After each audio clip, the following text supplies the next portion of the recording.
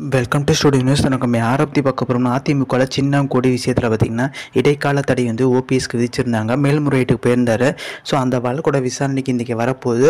So இதில் பார்த்திங்கன்னா முக்கியமான ஒரு சில பாயிண்ட்டுகள் பார்த்திங்கன்னா ஓபிஎஸ் அணியினர் எடுத்து வைக்க போகிறதா தகவல் வெளியே இருக்குது ஸோ இது தவிர்த்து பார்த்திங்கன்னா எடப்பாடி பழனிசாமிக்கு தென் மாவட்டங்களில் ஓரளவுக்கு செல்வாக்கு கம்மி தான். ஏன்னா வந்து ஓபிஎஸ் தான் அதிமுக முகமாக இருந்துச்சு. பெரிய லெவலில் பார்த்திங்கன்னா கொங்கு மண்டலத்தில் செல்வாக்கு எடப்பாடி பழனிசாமிக்கு இருந்தாலுமே அங்கேயுமே பார்த்திங்கன்னா கொஞ்சம் வந்து எடப்பாடி பழனிசாமிக்கு பின்னாடி எதனாலும் சொல்லிட்டு பார்க்கணும். அண்ணாமலை உள்ள வரனால தான் ஸோ நிறைய பிரபல பத்திரிகையாளரில் என்ன சொல்கிறாங்க பார்த்தீங்கன்னா கொங்கு மண்டலத்தில் எடப்பாடி பழனிசாமிக்கு எழுபது சதவீதம் வாக்கள் இருந்தாலுமே இப்போ அது வந்து குறைஞ்சிட்டு நாற்பத்தஞ்சா வந்து ஆகிறதுக்கான வாய்ப்புகள் அதிகம். ஏன்னா அண்ணாமலை பார்த்திங்கன்னா கொங்கு மண்டலத்தில் ஆதிக்கம் மேலே.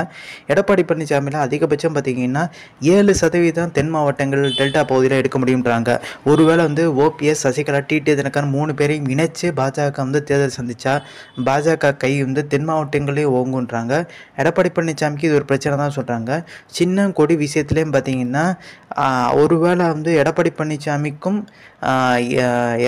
எட ஓபிஎஸ்க்கும் பார்த்தீங்கன்னா இந்த மோதல் தொடர்ந்துகிட்டே இருந்துச்சுன்னா கண்டிப்பாக வந்து எடப்பாடிகிட்ட வந்து சின்னம் இருந்தாலுமே ஓபிஎஸ் சசிகலா டிடி தினகரன் மூன்று பேருமே இணைஞ்சு தனித்து அதாவது சுயேட்சையாக நின்று பாஜகவோட தேர்தலை சந்தித்தாலும் மிகப்பெரிய லெவலில் வந்து எடப்பாடி அணிக்கு தாக்கத்தை ஏற்படுத்துன்றாங்க ஸோ இந்த இன்ஃபர்மேஷன் பிடிச்சா like share subscribe thanks for வாட்சிங்